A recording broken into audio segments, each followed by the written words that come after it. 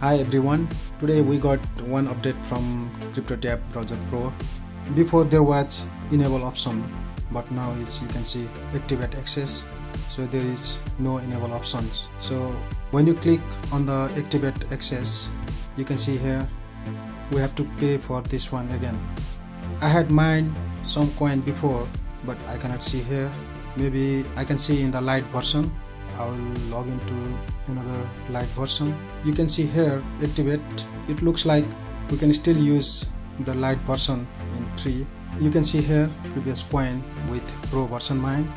Hopefully I can still withdraw this amount. You can see the withdraw option here.